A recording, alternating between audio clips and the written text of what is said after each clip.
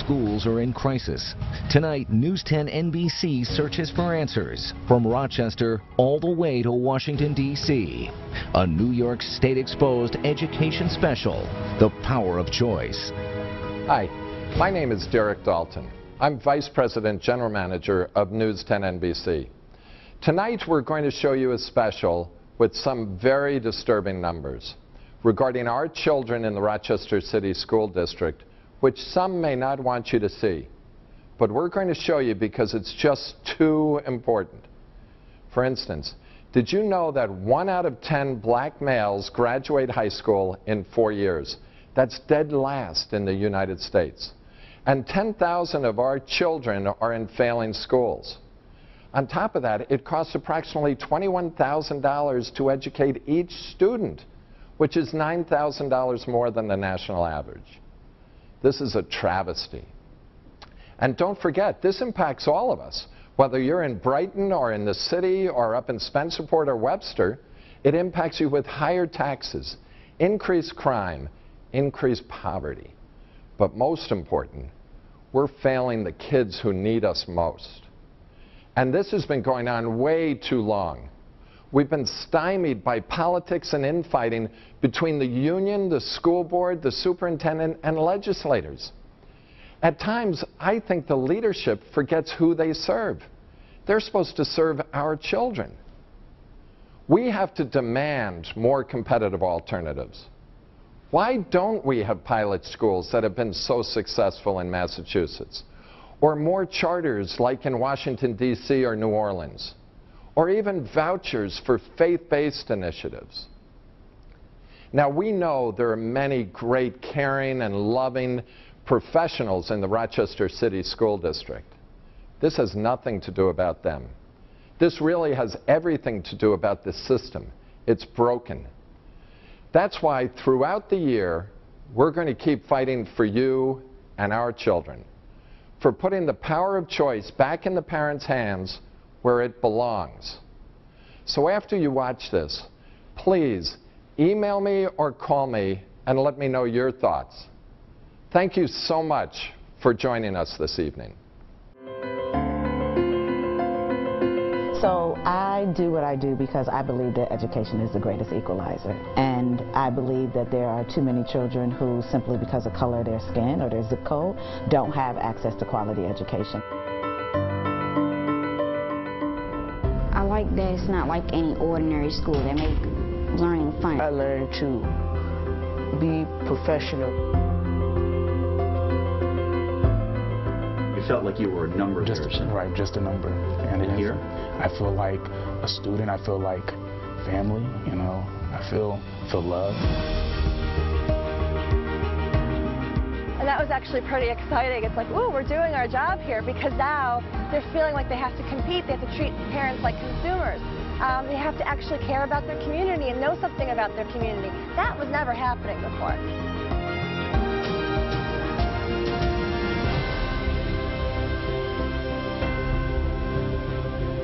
So why do parents in Rochester not have a choice?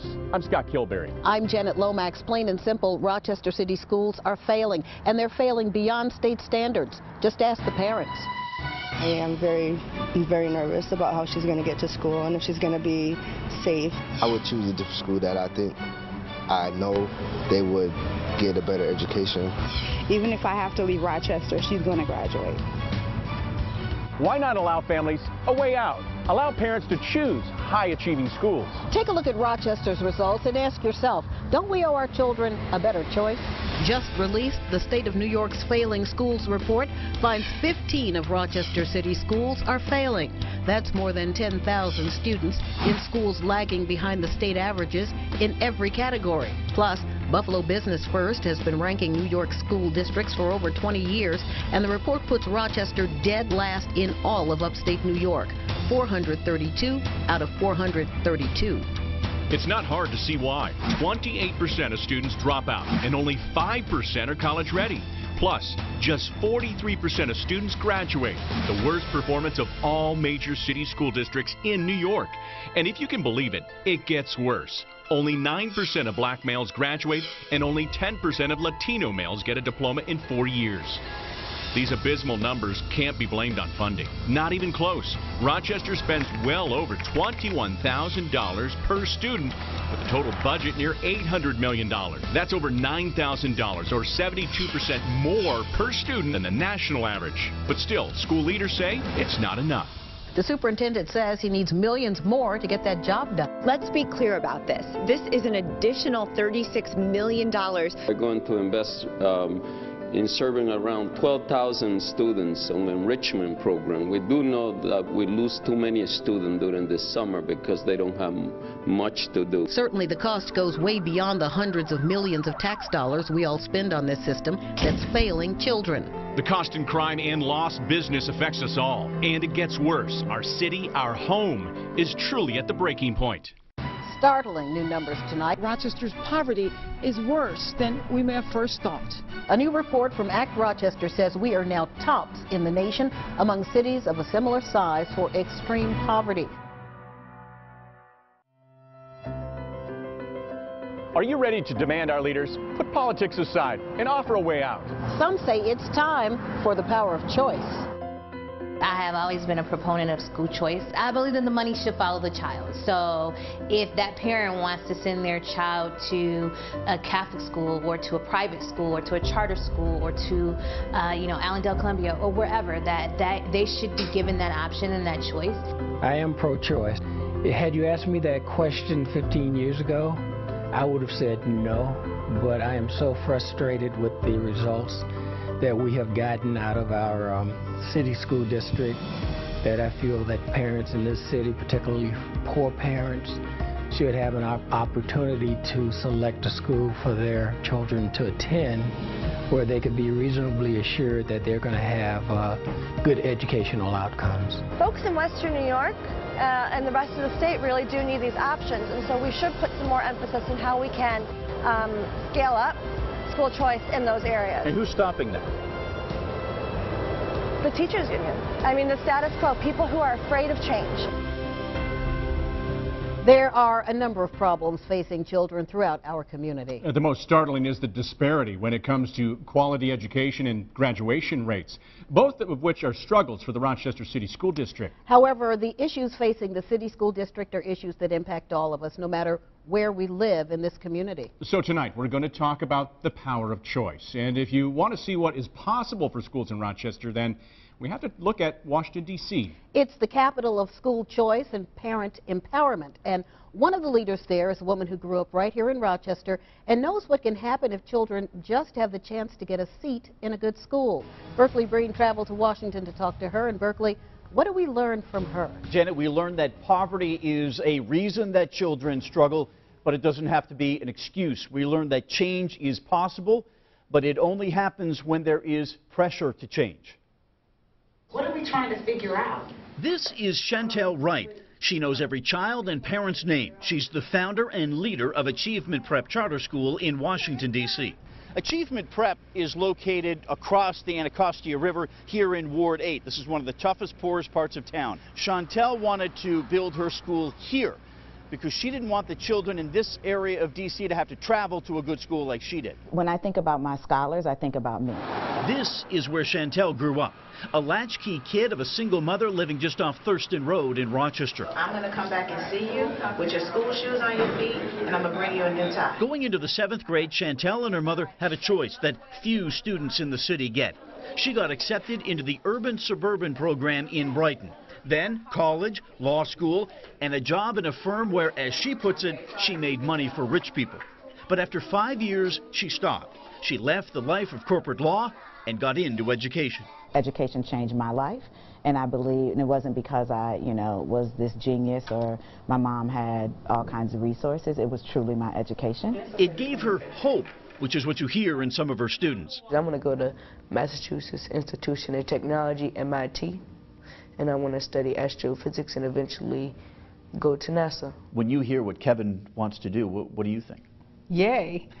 Mothers like Deborah Green have a power that a lot of mothers in Rochester don't have, the power of choice. It means a lot to us. Um, it probably means more that we didn't have to pay for that education. In Washington, D.C., 45% of all students are in charter schools. The rest are in traditional district schools, but even those children get to choose what public school they want to go to. 20 years after choice became the law in D.C., the city's population is up, crime is down, and graduation is up 10%. It didn't always used to be that way. Scott Pearson is the executive director of the D.C. Charter School Board. DCPS used to be one of the worst school districts in the entire country, but it's gotten better. How did it get better? Well, the competition? That's, that's, a, that's a matter of debate. I think competition had a big role to play. Why do you think they used sharp tools? Pearson says competition created the political will to make tough changes. The D.C. public schools enacted some of the toughest teacher evaluation standards in the country. For instance, one ineffective rating and the teacher is gone. I asked Shantelle Wright to think about Rochester schools and the change that she thinks has to happen here. So this is what I tell my staff, Berkeley. We are brain surgeons. And at some point, as a surgeon, if you keep killing your patients, somebody's going to revoke your license. And you're not going to be able to practice anymore. But yet we look at schools and us as teachers and leaders and say, I can only graduate 45% and that's actually okay, that 55% aren't meeting it. And we don't do anything different. Rochester would have to triple the number of charter schools to reach critical mass. The city would have to go from the 14 now to around 40. Right now, only 14% of children are in charters. That's 4,200 children out of 28,000 students in the district. But here's the thing. I checked with the Department of Education in New York and SUNY. There is not one charter school application pending for Monroe County. Scott, not one. Wow, very interesting. Now, we heard Shantelle Wright uh, say that 45% graduation rate is actually okay, but I don't think anybody in Rochester is saying that. No, nobody's saying that, but I think here's the point that uh, a change in the public school district in D.C. didn't happen until there was a critical mass of choice for parents in the form of charters and vouchers. And when teachers and children started to leave the district school system in D.C., the system started to change because what I'm told in D.C., the system had to change. It was in the system's best interest to change. Wow. All right, Berkeley, we're going to check back with you throughout the evening. Thank you for that report. But right now, many of you at home can get involved in this conversation as we speak. Tell us what you think about the idea of providing more choices for parents. We're going to share some of your thoughts throughout this special. Just use the hashtag Power of Choice on Twitter. Well, New York Governor Andrew Cuomo says he's all about providing more options for parents and students across the state, but not everyone's on board. We'll break down his plan still ahead. Plus, we take a closer look at the school board and the salary. Does the wage fit the task or the results? That's straight ahead on tonight's Power of Choice special.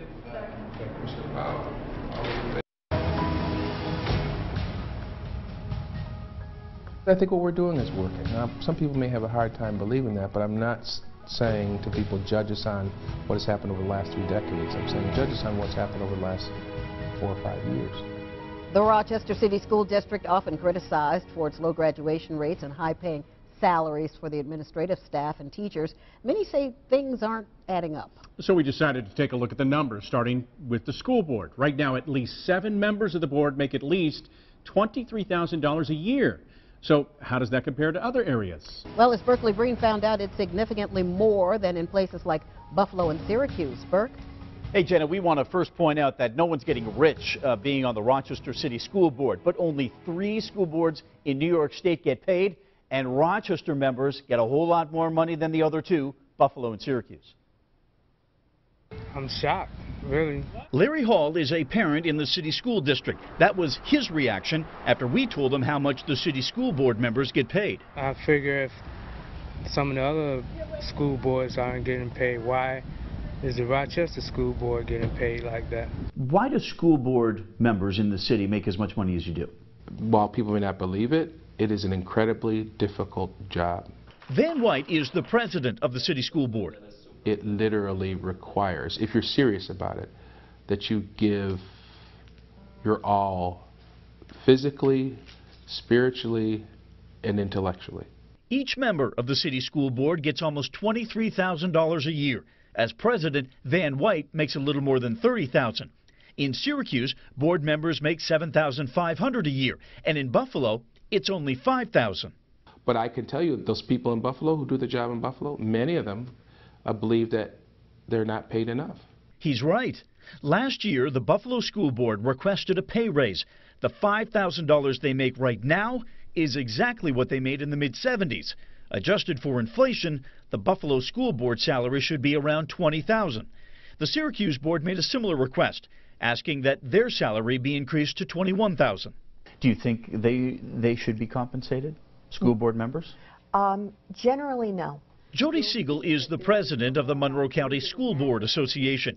There are no suburban or rural districts in New York State that pay their school board members. There is some feeling among lots of school board members that they do this as a volunteer because they believe that is a good way to keep anyone from thinking they're doing any of this as part of any self-interest. Van White, a full-time lawyer, says he puts in six to seven hours a day working on school district issues.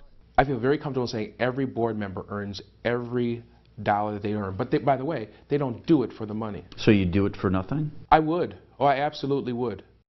Now, the main role of the school board is to set policy and hold the superintendent accountable. And Van White told me that uh, the Rochester City School Board is enforcing 29 policies enacted by the board over the last 20 years that he says have never been enforced. And he says they have regularly scheduled meetings with school principals where they look at attendance and test scores. So they're trying to hold those principals accountable. You know, you mentioned a push to increase the school board salaries in Buffalo and Syracuse. What's happening with that? Well, the pay hike and the request in Syracuse, that never happened. Nothing happened with the, the proposal in Buffalo. But we should mention that according to the Buffalo News, on top of that $5,000 stipend for Buffalo School Board members, they get $5,000 in travel expenses, and the, the board budgets $20,000 a year on meals for board members at their weekly meetings. One other note, Janet, Rochester City Council members make $34,000 a year. The city budget, $300 million less than the school district's budget. So they've basically got a smaller budget, but they make more money. Something to think about yep. there, Burke. Thank you. Failing schools are plaguing city school districts across the country. However, the difference we found is that other states have addressed this problem by putting the control of education back in the hands of parents and using their tax dollars to fund the initiative. To lift the sanctions that have been in place. Shannon Joy is a local radio personality, but she makes it clear she's a mother first. And following last month's Common Core testing, she's not entirely happy about the way the government has a hand in their education. If you are really looking at the best interest of a child, it would make sense to put most control into the hands of the parent. What we're going to do today is use... Outside of New York, parents have more of a voice. There are currently 26 states across the country that use some form of voucher system or a school choice program. Whether it's a public school, charter, private, or religious school, vouchers give parents the choice to decide where their school tax money is spent. We see that they have academic benefits. Paul DiPerna is the research director of the Friedman Foundation for Educational Choice. A Friedman study released last month showed low-income school choice students in Baltimore graduate earlier and attend college at a significantly higher rate than their peers. 98 percent of those students were likely to graduate. In order for a true school voucher program to work in New York, it would require that the state's constitution be changed, eliminating what's known as the Blaine Amendment, which prohibits public money from going to religious schools. Something debated just a couple of years ago in the state assembly. So we went to state assembly majority leader Joe Morelle. Shouldn't families have a choice, another option to send their children somewhere else? Yes, and I think that's really why the charter school system has developed. You know, the proponents of this back to the voucher system suggest that uh, competition is going to challenge the state to use their dollars more wisely, and the competition would be good. Well, I think that's, but I think we do that in the charter school system. So um, you know, there's different ways of getting it. As I said, we have opted to create charter schools, and there's obviously a lot of conversation about lifting the cap. There's also conversation, as I said, about the tax credit. So I think the voucher isn't going to happen in New York. I think we're looking at other models that would still achieve the same goals. The tax credit Morelle mentioned, which the New York State Senate just passed, would be a way around the Blaine Amendment. The Education Investment Tax Credit would give a tax break to scholarship donors and allow parents of children in one of the 15 failing schools in the Rochester City School District to use a scholarship to send their child to a private or religious school of their choice. The Education Investment uh, Tax Credit has passed the Senate. Any chance you see it getting through the Assembly? you know, we've talked about it at length. Uh, I don't think that we've made a decision. We will probably have uh, more discussion this year before the end of session, make a determination on whether or not uh, we want to take it up. The movement, in fact, continues. Governor Cuomo announcing his plan just a few weeks ago, which he says gives power to parents and students. Cuomo says basically if you have the money, you can move to the suburbs. If you don't, you virtually have no options. He says his Parental Choice in Education Act is all about choice, and he hopes this time around there'll be enough votes to make it happen. However, as Berkeley Breen reports, Cuomo admits this will be an uphill battle, despite the growing support from some of the most powerful religious leaders in New York State. And I uh, honor your choice. The governor said education and a parent's choice about education for their child is the most important issue in the state right now. Education is the civil rights issue of today. It's called the Parental Choice in Education Act. It's backed by Jewish, Muslim, and Christian leaders in New York. The most vocal champion is Cardinal Dolan of New York City. We don't care where they're at public, private, religious, you, who cares? We just got to help our kids, and this is going to do that. So, what, what do you say to those assemblymen and, and senators in the Rochester area who say haven't this- voted for this before? This is a, a no brainer. Listen to your people, listen to your leadership. They're all on board. Uh, we need you more than ever. This is about our kids, and, and anything to help our kids in whatever school they're at, bingo. If you look at uh, private schools, whether they're Catholic schools, Jewish schools, and any independent religious schools, and suburban schools, one of the reasons that those schools collectively are high performing is those schools are chosen by parents. So, if people and parents in cities like Rochester had choice, the schools would get better? By, by all means. The governor says this has to come to a vote in the next four weeks. Cuomo says the powers and special interests in Albany are against it. You know who's in favor of it? The people in this state are in favor of it. That means you have to speak up. You have to make your voice heard. Democracy only works when you stand up. And you have to say to your assembly people and senators, don't come home from Albany unless you pass that education tax credit, because if you do, I'm not sending you back. Well, that legislation is heading back in front of lawmakers soon, and whether you agree or disagree, you can let them know your thoughts. Here are the lawmakers with the most influence when it comes to making this decision. The President of the Senate, Senator John Flanagan. His email address is nysenate.gov. And the Speaker of the Assembly, Carl Heastie. His email address is speaker at assembly.state.ny.us. You can also contact local lawmakers. We have all that contact information on our website. Just go to WHEC.com, click on News, and then look for the Contact Your Elected Officials banner. You'll find it on the right-hand side of the page. Well, many critics of alternatives like charter schools say that those types of programs take some of the best and brightest students away from public schools. But one school district in Washington, D.C. says the answer is simple. If you want the best, you have to fight for it. Still ahead, we go back to D.C. where school leaders are literally going door to door to recruit scholars.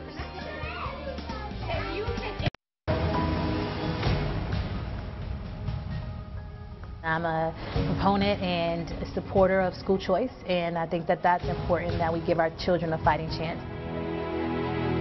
Along with choice comes competition. Some claim that's the problem now, that charters hand select the brightest students. But in Washington, D.C., where right now nearly half of the students are enrolled in charter schools, the competition is forcing principals in the traditional public schools to do something we've never seen before. That's recruit their students. Once again, we sent Berkeley Breen to Washington, D.C. to see if it's making a difference. Berkeley. All right, here's what I learned. D.C. is not perfect. They still count tens of thousands of children in failing schools, and there's still a significant gap between white children and black and Latino children. But overall, the numbers say it's better than it used to be. And a factor as to why things changed was competition. Take this principal of a Washington, D.C. public elementary school. She went door to door last summer recruiting students because if she didn't, they could go somewhere else. For me as a principal, It is really a great thing to go out into the community, meet people face to face. Isabella Miller is the principal of Amidon Bowen Elementary School. It's part of the Washington, D.C. Public School District. This is one of the streets that she went door to door recruiting students. When you're walking down this street and you're knocking on these doors and you're telling parents or guardians, I want your child to come to my school, what do they say to you? Um, that depends. So normally it's like, oh, hi, Ms. Miller, it's good to see you, right? Keep I'm going. like, you know what we can do? Come to my school, come observe the classes, come talk to the teachers, come talk to students. Like today when you were interviewing to parents, I had three more parents come and sit in the classrooms who are choosing that school who would normally not consider it, right? Your principal, Isabella Miller, last summer went door to door recruiting students to come to this school. What did you think of that? I think it was great. I think it was very wise of her to go door to door, to sort of like evangelize DC public schools. Norma Fisher Jones chose to have her daughters go to this school. So did Martin Wells. He has three children here. We're an extended day school. In the District of Columbia, that's the power of choice that parents have. They can choose to send their child to a charter school or any district school they want. Rather than take my kids to a better school, I decided I'll spend the time that I'd normally commute and help improve this school. The Cherry Blossom Festival, they're going to be in the Civil War Parade. Wells gave us a whirlwind tour of the school. New classrooms, new art rooms, new playgrounds. Wells liked choice. He took advantage of it, but he's critical of charters. He says they take motivated parents out of neighborhood schools and they're not subject to the same scrutiny. You have taxpayer dollars that are accountable under the DC public school system that are diverted into private hands, into charity hands with no accountability. Wells says DC charters are not subject to freedom of information requests. He says it took a lawsuit to show one charter operator paid himself a million dollars a year. It's important for the people of Rochester to make sure that they have accountability on their tax dollars. But in the classroom, what has the power of choice done at Amidon Bowen Elementary School? Proficiency scores in math and English are up. Five years ago, they had 230 students. Now, they're at 375. Do you feel like there's competition out there, like you're competing for children to come to your school because they could go other places, other schools? In a way, yes. In a way, yes. So there is, um, I think in, a, in some ways, it's um, it's a healthy competition. So basically you're showing this is what our school is made of and not only can we meet the needs of your child, but we actually can exceed them. You're, you're marketing your That's school correct. to local families. I have to, yes. All right, two quick points here. First of all, charters in New York State are subject to freedom of information laws. And I don't want to paint an overly rosy picture of D.C. schools. They estimate there are still 40,000 children in failing schools in, in D.C., both in district and in charter schools. The question is, what do they do with the failing schools? Coming up tonight at 11, you're going to meet the man who has the power to make them go away. Scott? Well, it's interesting. We talked about the enrollment in D.C. district schools and charter schools. Both of those are up. Now, why do people think that's happening? Well, a big factor is the terrible traffic in D.C. We got caught in it a couple of times when we were down there. People tired of the commute move back into the city with their families. And parts of D.C. are getting gentrified. We, we saw those parts. Our traffic in Rochester, just not bad enough to make that happen here. But the parents I talked to down in D.C. also credit the changes in the schools. They knew, Scott, that they could move their families back into D.C. and still have a great deal of power on where their children went to school. I like the, what that gentleman said, that instead of uh, wasting his time in community, he's going to use that time to better the school. And he lives around the corner from that school, and he's there almost every single day. Wow, impressive. Bert, thank you for that report. Janet. Well, in Rochester, not only is there a fight for the brightest students, there's also a battle over space. Many charter school leaders say they would love to expand, but the problem, they can't find affordable space. Right now, 22% of Rochester City school buildings vacant. However, district officials told Berkeley Breen the space is not open, leaving charters and parents with limited options. I think that that would be a solution that would solve a couple of different problems. This is Susan. It's not her real name. For personal reasons, she asked us to conceal her identity. She lives in the city, and she wants her son to go to a charter school. But right now, he's on a waiting list. So for her, more space for charters means a space for her son in a charter. You know, there's plenty of space in the Rochester City School District's open that's not being used. the tax dollars are paying for to just sit there. So we took this concern to Van White, president of the city school board. Now he's elected by voters citywide, and we asked him, you have open space in some of your schools, why not open it to charters? I'm of the mindset that what we should be sharing are best practices, not space. Van White believes that city schools can compete with charters, private schools, and suburbs. This notion that we should take whatever available space we have runs counter to that notion. If your focus is, is an us versus them focus, then maybe that's an argument. Jeff Rosenberger is the board chair of the Rochester Prep Charter Schools. Some of his schools are in rented, empty Catholic schools, but one is in a converted party house on Maple Street, and the school is at the mercy of the building owner. The ability for charters to expand is limited by the available space. So there would be more charter seats available to serve more children. But charter school operators complaining about facilities is like people moving next to the airport complaining about the planes. Charter school operators knew they weren't getting any state aid for facilities. They knew this would be a problem. But you knew that going into it, right?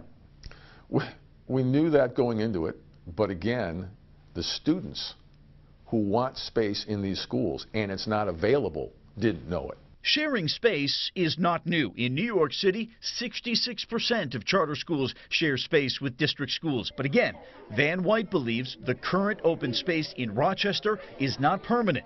And he says what they're doing in the city school district now is going to demand more space in the future. Who would contest the, the, that that is a rational thought given the fact that the U of R is running East High School? Uh, if you've ever been to They a might contest it when they look at uh, test scores and graduation rates over the last 10 to 20 years. I'm talking about the next, the next 10 to 20 years. Parents are talking about right now. It won't cost anybody any extra money, and it'll get used. More charter schools can open up, more options for more parents. Kids can flourish that way. Well, so far there are no laws in place in our area which would require the Rochester School District to offer space to charters. However, in New York City, the city school district is required to offer space or find space in another private or public building and pay for it. Again, that law only concerns the New York City area. The importance of choice all comes down to one thing, providing a better education for our children, which in turn improves our community. Up next, a closer look at the possible link between crime and poor education. What we found out straight ahead.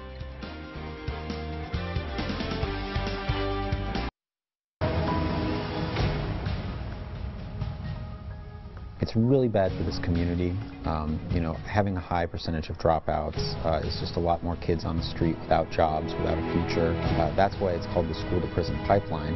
If you deprive kids of a future, uh, how can you expect them to end up anywhere but prison? Many argue that uh, what happens in the Rochester City School District impacts all of us as a community. The theory being if you improve the education system, you improve the quality of life for everyone. So it leads to the question, is there a link between crime and poor education? Berkeley Breen went looking for an answer. He continues our Power of Choice coverage tonight with what he found out. Berkeley. Hey, Scott, if you don't think that uh, struggling schools in the city and crime by young people affect your taxes and your money, this might change your mind. You're about to meet two 17-year-olds who were in the Monroe County Jail. And when we first reported this last summer, the one thing they had in common is that neither of them were in school when they got arrested. Carlos Serrano. Carlos Serrano should have been in ninth grade at Charlotte High School. Instead, he was serving three months for violating his probation. DeAndre. DeAndre Dent should have been a freshman at Monroe High. He was doing 10 months for robbery. You miss your family a lot. It's not a place to be. Most 17 year olds don't want to be here. They were 17 when we talked. Both should have been well beyond the ninth grade. They admit they were not going to school when they got in trouble. They told us they liked the street better. So, who do they blame for that? Myself.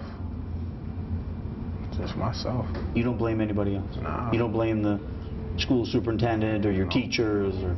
That's my fault. The question is, is there a link between crime, being in jail, and lack of education? Well, here's the evidence. According to the Monroe County Sheriff's Office, a majority of inmates in the Monroe County Jail do not have a high school diploma. Professionally, from my perspective, there, there obviously is a nexus. Ed Ignari is the Director of Rehabilitation for the Sheriff's Office. He says most of the teenagers in the Monroe County Jail read and do math at a level four to five grades below where they should be. In New York State Prison, 25% of inmates read below an eighth grade level. And that has a tremendous impact on somebody's ability to make um, good decisions. Here's the irony. While Carlos and DeAndre were cutting class before they got arrested, they had to go to school in jail. Okay, Lipinski, let's go, let's go. They get classes in English, math, science, and writing. State law says free education has to be provided to anyone under 21. And this is where the education and crime nexus is costing you. The average cost to house an inmate in the county jail is $50,000 a year. The average cost per pupil in the city school district, $20,000 a year. So that means through your state and county taxes, you are footing a potential $70,000 bill. If you look at somebody that's here for a whole year, they're, they're costing the taxpayer uh, a great deal of money. The total budget for the county jail, 75 million. So now the question is, how did it come to this? Who failed these kids? I think we all have. Uh, Superintendent Dr. Bolgen Vargas puts the blame on the city school district, but also families and the community. And he says the failure starts when the kids are young. The sad reality is that I have about close to 3,000 students, some of them in kindergarten, first, second, and third grade, that are not coming to school. When a first grader or a kindergarten or a second grader is not coming to school, that is all of us I fell in that child. So what are you doing to change that? We desperately need to improve the district. But the community need to have the sense and urgency that every child, every day, is in school unless that child is ill. Then have you come right over here. When DeAndre got out of jail a month after we talked to him, we met him at the Urban League, his first step to getting back on track. He is now enrolled at All City High School, an all boys school, and his mother says he's on track to graduate next year. But you still have a hard time hearing hope when you ask him about the future. So what's your goal? I mean, a lot of kids have goals, right? A lot of teenagers have goals. So what's your goal? My goal, my main goal is to finish school. That's my main goal. My second goal is find a job or something. Now, we tried to contact Carlos uh, Serrano. He didn't want to talk to us after he got out of jail. My phone call to him this week was not returned. The city school district tells me he is not enrolled in school. We do know that he has a two-year-old child back at home. Janet? So far, we've talked about a lot of issues facing teachers, parents, students, community leaders. So what do you think? What are you saying about all of this and the power of choice? Jennifer Mobilia joins us now with some of your comments. Jen? Well, a lot of you at home have been sharing your thoughts with us on Facebook and Twitter all day using the hashtag Power of Choice. And as you can imagine, the topic of educating our children is getting a lot of reaction. Here's just a few of the comments we've received.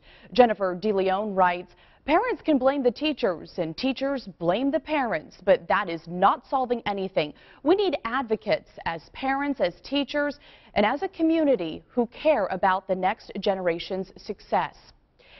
Andrea Fricano says parents need to get involved and become a voice in their child's education. It takes a triangle for success, teacher, parent, student. Once we get that, our children will soar. And on our post about charter schools, Richard Skippen says charter schools only do well because they exclude students who have learning or emotional disabilities in non-English proficient students. But Ivan Stefanovich disagrees, saying charter schools do not accept only the best and the brightest. In fact, many charter schools are set up specifically to teach students who are struggling academically. Our Facebook post on mayoral control of our schools has the most comments. Amy Irwin says the qualifications for mayor have no overlap with the qualifications for school superintendent. To put a mayor, any mayor, in charge of the schools would be irresponsible. And finally, our piece on suspension and how schools should deal with bad behavior. Jay Murphy writes, some of these kids come from broken homes. No love, no support, minimum to no supervision being neglected or abused.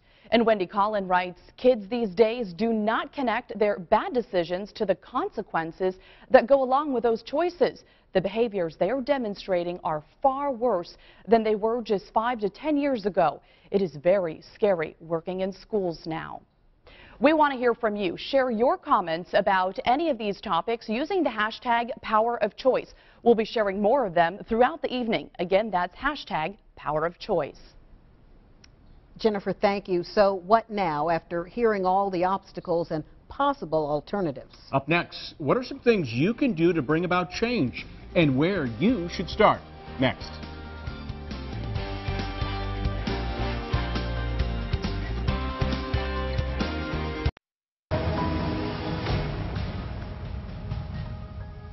Choice to me, I mean, it gives me a decision. I can make the decision to what I want to do versus having somebody tell me. For me, in choice, with my with her education and my other children's, it's everything. In this special, you've met the Rochester woman who's running some of the most successful charter schools in Washington, D.C. And the public school principal in the nation's capital who went door to door recruiting students. Tonight at 11, Berkeley Breen tells you the story of the charter school sheriff Unlike New York, where the state education department and SUNY oversee charters, D.C. has basically one man with the power to grant and rescind them. It's very difficult to have the political will to execute a turnaround in a major school district unless you are faced with the possibility that charter schools could take over the whole system if you don't get better. 45% of students in Washington, D.C. attend charter schools. The size of that enrollment is what officials say forced D.C.'s education establishment to make major changes. So, why does Scott Pearson say charters shouldn't get any bigger? And how many more charters does Rochester need to reach that critical mass? The answers are at 11, and they're going to have an effect on what could happen here. Well, during that trip to D.C., our crews also learned about an organization that advocates for school choice and helps get information to parents about choices available to their children. It's called the Center for Education Reform. There's nothing like it in Rochester. We learned a woman from Buffalo, New York, is now its executive director. Berkeley Breen spoke with her about the need for more options for parents. What difference does that make? Has it, has it made improvements? Are their lives better? I think it makes a world of difference when you have when you have a real marketplace for families. You know, a lot of people say, oh, those parents can't choose. Those parents, those kids won't be anything. Actually, when we see kids really having a marketplace to choose from, all of our schools do better, traditional and public charter, because they're competing. They're competing for families. They're competing for the consumer, the, the parent. So what should parents be demanding then? Should they get, be getting on the phone and calling their the New York State United Teachers Office and Rochester Teachers Association office? They won't listen to them. What needs to happen is legislative change so that it takes away the power from those, those special interest groups and puts the power back in the hands of parents. Well, we spoke with members from the local teachers union about that, and you'll hear their response on Thursday. We also talked a lot tonight about the power of choice. Now, you have the power to take action. The status quo isn't working for a lot of local children and their families, and that's why here at News 10 NBC, we're recommending that if you feel strongly about what we've shown you tonight, Contact Governor Andrew Cuomo's office. Tell him about your concerns and how you feel about education and the power of choice. Now, you don't have to have voted for the governor or even be a fan of his policies, but as the leader of our state, we think he needs to take action to help children and families right here in Rochester. You can call the governor at 518 474 8390 or email him at www.governor.nygov slash contact. We've also made it easy for you on WHEC.com. We've put together a sample letter or email to get you started. All you have to do is go to the website and look for the Power of Choice tab. The link for the letter will be at the top. We want to thank you for watching and sharing your thoughts with us tonight. We hope you have a good night. If I had a choice, they'd definitely have a better future. But you don't have too many choices it made me wonder if you know living in Rochester was the the best best thing to do at the time. It's something that you kind of look and you're like, wait a minute, what what's going on in in the schools? Um, if you're dead last in New York State. I think it's mostly to do with the parents and the parents getting involved in their children's lives and getting involved in the school. Two of my kids did go to private schools and they did better in the private schools. Uh, although I was paying out of my pocket, but if I could afford it, I would do that. But I couldn't afford it, so I, I just firmly believe in like different school districts probably could better teach my, my child. It's a two-way street. You know, teachers teachers have to be involved. Um, parents have to be involved. Uh, everyone has to be involved in, in the process.